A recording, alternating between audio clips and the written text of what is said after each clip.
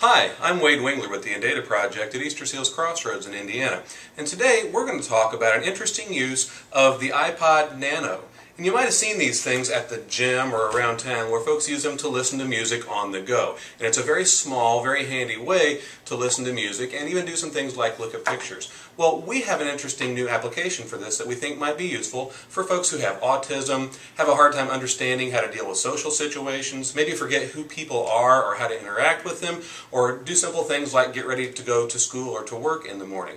So this iPod Nano is set up to handle music and it's incredibly small. It's made to be clipped onto your workout clothes or your shorts so that you can listen to your music. It also has the ability to be inserted into this wristwatch, um, kind of a band, so that you can slap this thing on your wrist and wear it as a watch throughout the day. And it even has a little clock built in so that it looks like a watch. And it kind of looks like you're, you're wearing a watch. But the thing that we're doing with the Nano that I think is interesting is we are putting playlists on it. So we go into um, iTunes or GarageBand and record some audio, drag it over into iTunes, and then we can use it as a series of reminders. Now, normally you would wear these small earbuds or maybe even a bigger headset like this. Today we've got this connected through a speaker system so you can hear here on the video. But I have two playlists, and one is called Medications, for example. So imagine I'm wearing this on my wrist, I hit play playlists, then I hit Medications, Take one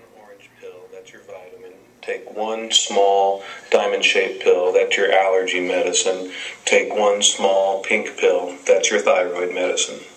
And so we've got a playlist set up there. Another one for pockets in the morning. Make sure you get your house key, your wallet, your bus pass, your cell phone, and the money in the dish.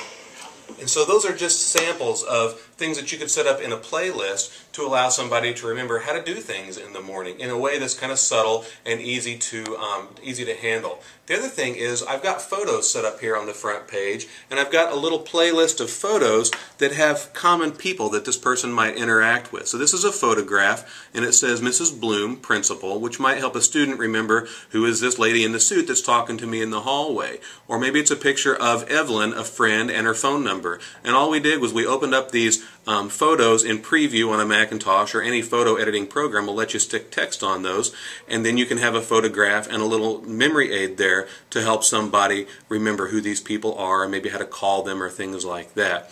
The other thing that will happen is if you connect a headset that has a microphone built in, and I've got a larger one here that has a, a little microphone, you can also have a voice recorder, and that shows up as an icon on here, and it will allow you to record notes to yourself throughout the day. And you can see on the Nano here the little volume meters bumping up and down as I talk because it has the ability to record.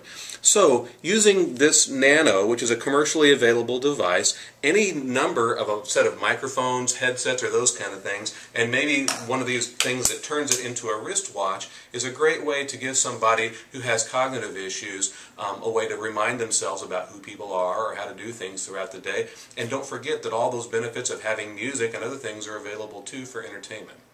So that's your tech tip for this week. I'm Wade Wingler with the Indata Project in Indiana.